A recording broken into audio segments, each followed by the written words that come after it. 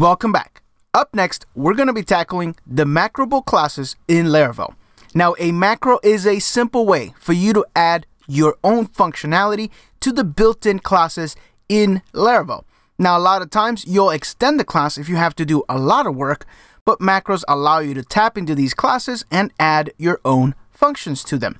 Now, there are quite a few of them, so I've actually written a nice blog post that you can visit so you can reference and figure out what classes are macroable. And here is the entire list. So as you can tell, there are quite a few of these classes that you can add your own functionality to it.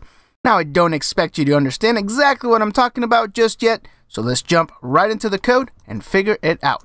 So let's go to PHP Storm, and what I want to do is pick a class that is macroable, and then let's do a quick dive through the source code, figure out how it works, and then figure out how to add our own macros to one of these classes. So let's pick the collection class. Let's go to the collection class. That's going to be under Illuminate, Support, Collection. And if you look right up here, it is using this macroable trait. So what exactly is a trait? When you see this use statement up here, which is obviously different than this use statement up here, what it is is that we are adding additional functions that don't exist in this class and that allows you to reuse these exact same functions in different classes. So the macroable trait, whenever there's a class that is actually using the macroable trait, it inherits two methods that are important to us. And if we go to this macroable trait, you'll see that what we have is this static function called macro, and the second one is this mixin of macro. Now we will talk about both of those, but the very quick explanation is that this allows you to add one macro at a time, where a mixin allows you to pass in an entire class worth of macros. So if you have more than one, this is probably the best way to do it.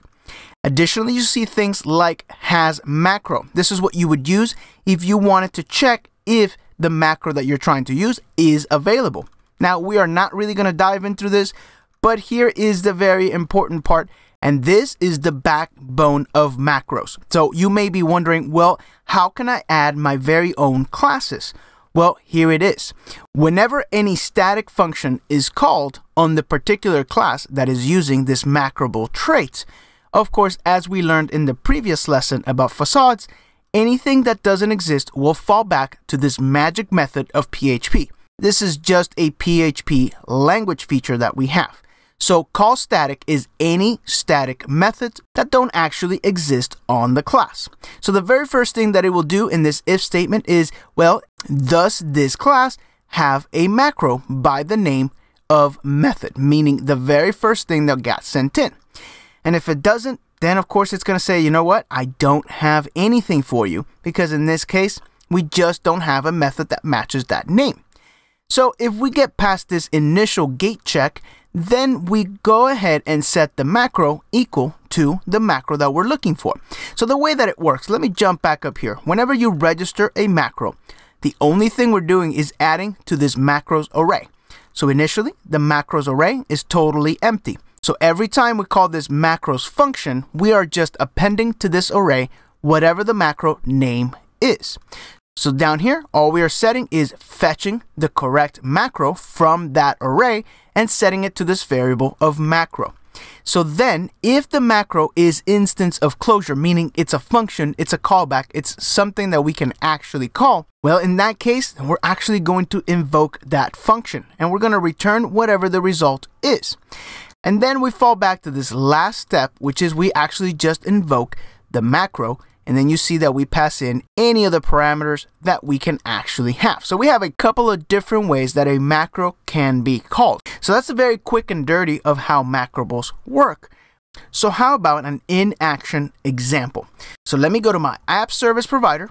And of course, you can do this in your very own provider or even in a package.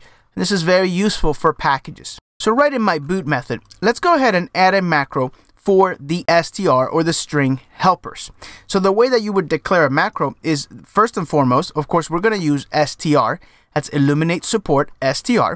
It's a class in Laravel, which of course has a bunch of string helpers. And if you actually check out the helpers, you see that there are quite a bit of them. But for the sake of this lesson, I'm going to make up a brand new one that doesn't exist. So to do that, to add the macro, remember we have that macro function, this one right here.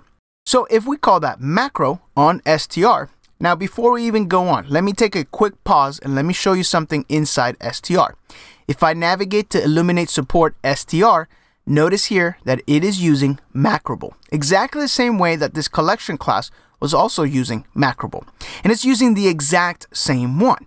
So as a matter of fact, in your very own classes, you can even use this macroable trait if you wanted to. Just have to make sure that you import it like so at the top. All right, that was just a quick side note of str. So now we can actually add our macro. Now it's going to take two parameters in here. So the first one is going to be the macro name. So I will make one for part number. And the second one, of course, is going to be our actual callback that we have to actually generate this macro. So remember, whenever we call str part number, we're going to invoke this function right here. Now, if we are going to pass in any parameters or arguments into part number, we can accept all of those right inside this function call. So I will actually accept a part as a part number, and this is just going to format a part number for us. It doesn't really exist. I'm making this up as I go. But let's just say that for the sake of our program, it needs to return something like AB dash, and then maybe the first three digits of whatever part was passed in. So we can simply do that with sub str, meaning give me a subset of the current string. So as a first argument, we'll pass in our string. We'll start at 0 and end at character 3. And then after that, let's go ahead and add another dash. And then finally, let's get the rest of our string. So we can do that using sub str as well. But in this case, we're not going to pass in a third parameter. We're just going to say, go ahead and start at 3 and give me the rest of them. Does that make sense? This is just a very simple string helper function that our fictitious application is going to have. So we're going to pass in a part number of some sort in some sort of format and I want to get back AB dash, then the first three characters, and then another dash, and then the rest of the characters. All right, so as a playground, let me jump into the routes file and let's add some stuff here that we can play with. So I'll just actually just die and dump, and I will use str. Again, that's illuminate support str. And now we have access to this new part number. Remember, this doesn't really exist in real Laravel. I added this on the fly. So now, as a part number, I will just simply type a bunch of random numbers. And now, when I head back to the browser, I'm going to hit refresh on this and check that out. So we are currently formatting that string. So we've just added our very own function into a Laravel function. And that's what macros are really good about. It allows you to inject your very own stuff into the actual stuff that ships with Laravel. How cool is that? Very cool stuff, very useful. So again, if we actually disable this and we head back in here, of course, that doesn't exist. So we get this new bad method call. There's no such thing as a part number. It doesn't exist. So of course, once we turn that back on, we hit refresh. There we go. So now we're working. So now our entire application has access to this new part number function globally as an entire thing. So pretty cool stuff. What else could we use these macros for? Well, there's another one that's very useful that I use sometimes, which is the response factory. Now, of course, out of any controller, you can always have some sort of error. So it would be nice to maybe have a pre-made error response that you can just call and say, you know what, something happened, here's my error message, and I'm done with this request. So how about if we worked on an example for that? So let's add a new macro for the response factory. So the response factory is what actually gets called whenever we send out a response. It generates a response. As the name suggests, it is the factory of responses. And of course, right away, we see that we have access to this macro method. Exactly the same method. Let me show you one more time just to drive the point even further. I'm going to jump into this response factory. And again, notice how it says it uses macroable. Again, just to reiterate, I've actually included the entire list of every single class that is macroable. And of course, we do see the response factory being one of those. So any of these classes that you see here are macroable. Of course, we used str and that one is down here. So just keep that in mind. Keep this blog as a reference so you know where you can add your very own classes, which is, to be honest, in just about everywhere in Laravel. We seem to have added Macroable to just about the entire framework. So now in this macro, let's create a new one for error JSON. Again, it's going to be a made up response that I want to return every time I get an error. So in here, we'll have a function, and this one's going to be a simple one. I'm just simply going to return an array, and this is the formatting that I'm going to use. I'm going to say message. I will have some sort of default error message here. And of course, if I wanted to, I could pass in my message right through here. So we could say maybe message, and then let's actually default error message right here. And then let's go ahead and just use message. There we go. So now it's customizable. Pretty easy, pretty cool trick. And then of course, let's have some sort of error code that doesn't really exist. It's going to be just error code one, two, three. All right, so how do I use this response factory? Let me head back over here and I'll actually comment that one out. And let's make a new return statement here. And I want to return and say, you know what I want out of this? I'm not interested anymore. So I can say response. That's going to be the facade response. So Illuminate support facades. And I can simply just call error JSON. All right, let's give this a go. Let's see what we get. Refresh. And there we go. So we have our default error message with error code 123. Now, again, if I wanted to customize that message, I can say a huge error occurred. Boom. And sure enough, a huge error occurred.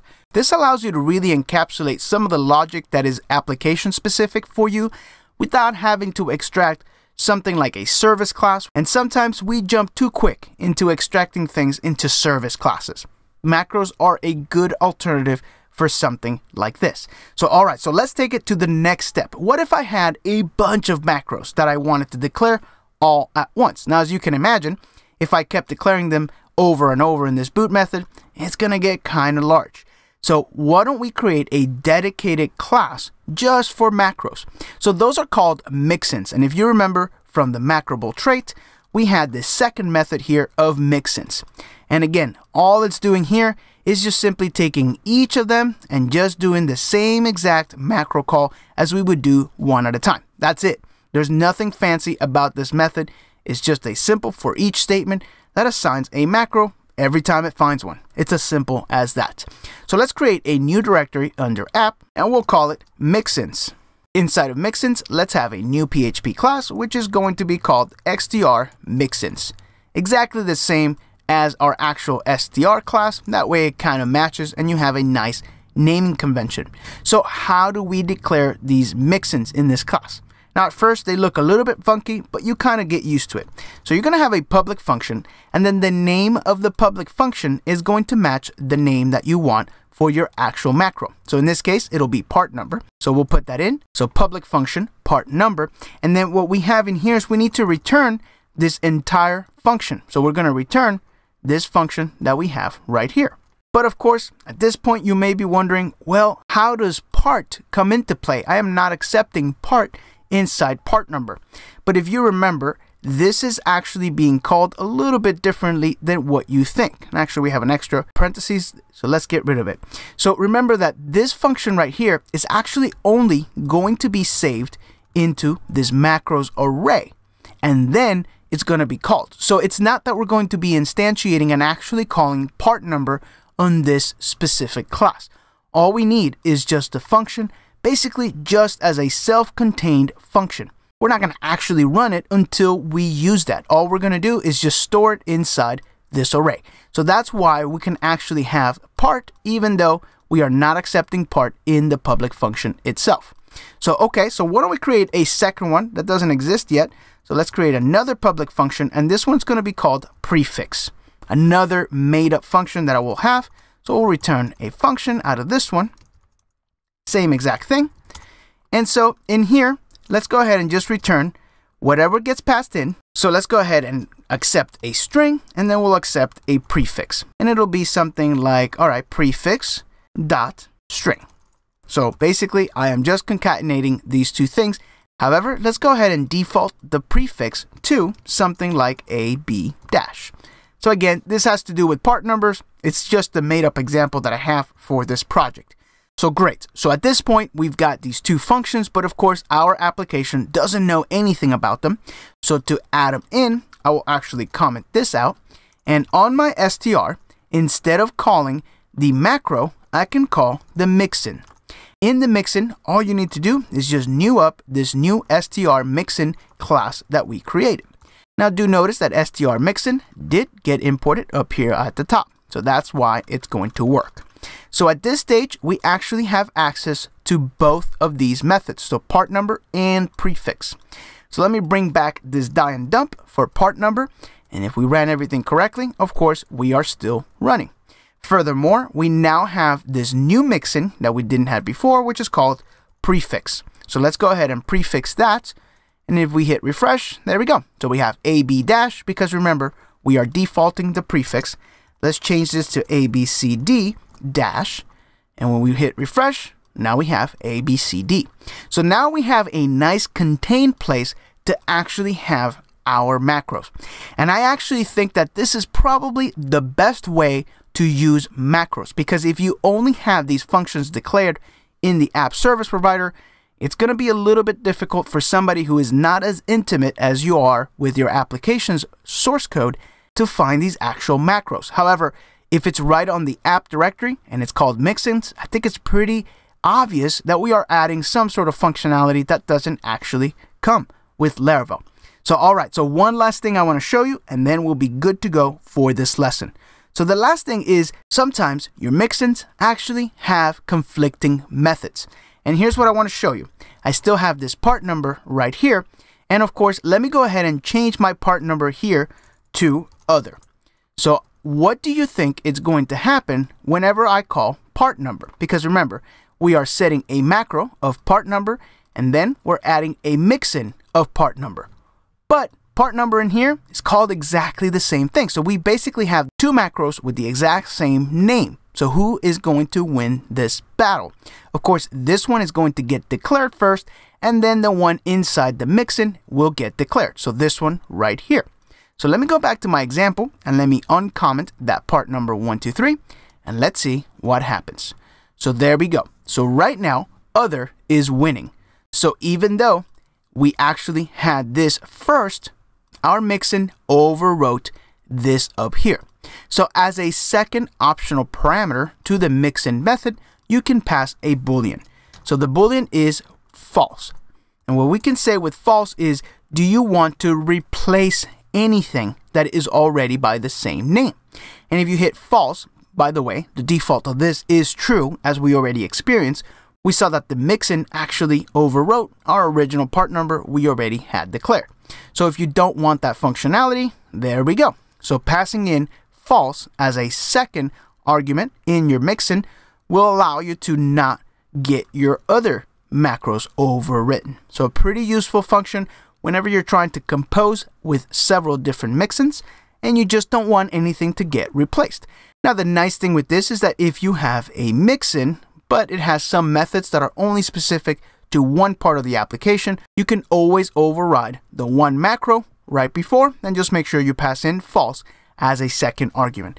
So that's a little bit more of the power user option that you can have with mixins, but that's going to be it for this lesson. I hope you've enjoyed this lesson on macros. And again, don't forget to check out this entire blog post and make yourself familiar with all of the classes available that are macroable in Laravel. Thanks for watching.